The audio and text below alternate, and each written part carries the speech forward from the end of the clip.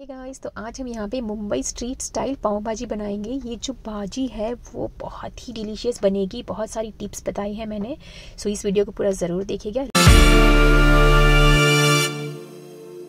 तो यहाँ पे मैंने potatoes cauliflower cabbage carrot and peas लिया हुआ है। वेजिस आप अपने हिसाब से ले सकते हो।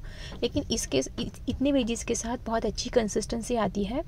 और ये वेजिस मैंने जो मेज़रमेंट बताया है, उसी तरीके से लेने हैं। अब सब्ज़ियाँ डूबे, उतना ही पानी लेना है हमें और पाँच विसल लगा लेनी है। तो ये वेजिस तो बॉईल हो चुके हैं। अब मैशर की मदद से अच्छे से हम इसे मैश कर लेते हैं।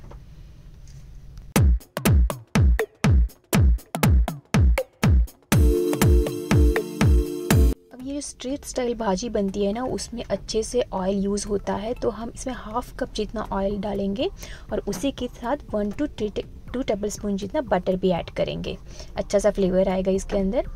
अब यहाँ पे हम जो अनियन टमाटो कैप्सिकम की जो क्वांटिटी लेंगे मतलब आपने जो सब्ज़ियाँ बॉईल की की है ना, उससे ज़्यादा इसकी क्वांटिटी होनी चाहिए। मतलब अनियन कैप्सिकम और टमाटो हमें उससे ज़्यादा यूज़ करना है। तब भी परफेक्ट टेस्ट और परफेक्ट कंसिस्टेंसी वाली भाजी बनेगी आपकी। तो ये अनियन और जिंजर गार्लिक पेस्ट डाल के हम इसे अच्छे से कुक कर लेते हैं मतलब अच्छे से पका लेते हैं अनियन को। एकदम ज़्यादा ब्राउन भी नहीं करना है इसे।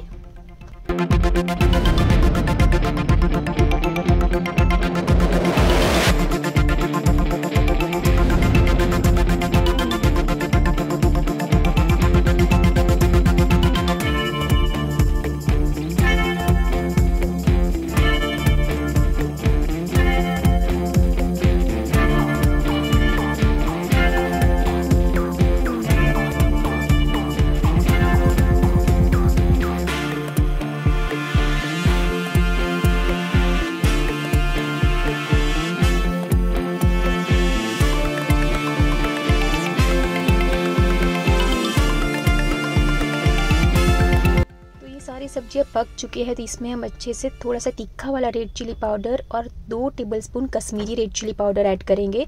उसी से इसका कलर बहुत अच्छा आएगा। तीन से चार tablespoon cumin and coriander powder and pav bhaji masala. Pav भाजी मसाला आप मार्केट का कोई भी रेडीमेड मसाला यूज़ कर सकते हो। अब ना हमें इसे फुल गैस पे अच्छे से आ, मिक्स करना है। ये देखिए ऑयल सेपरेट हो जाना चाहिए। अब ये जो बॉयल वेजीज है वो हम इसके अंदर डालकर अच्छे से मिक्स कर लेते हैं।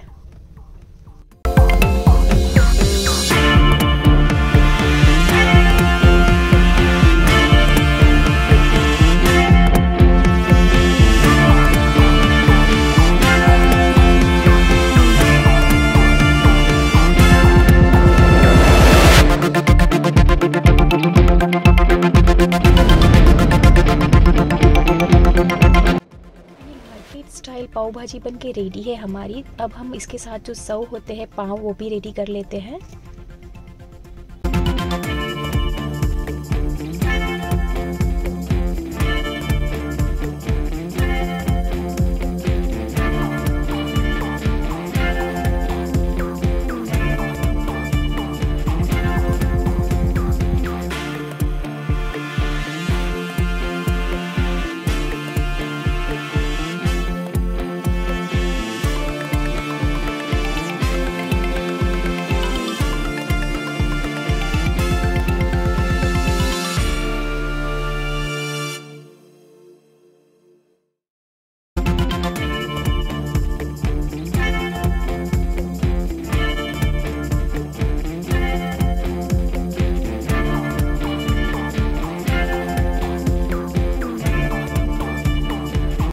पाव भाजी की रेसिपी आपको कैसी लगी है, ये मुझे कमेंट बॉक्स में कमेंट करके ज़रूर बताएगा और इसे ट्राई ज़रूर करिएगा। ये बहुत डिलीशियस बनती है।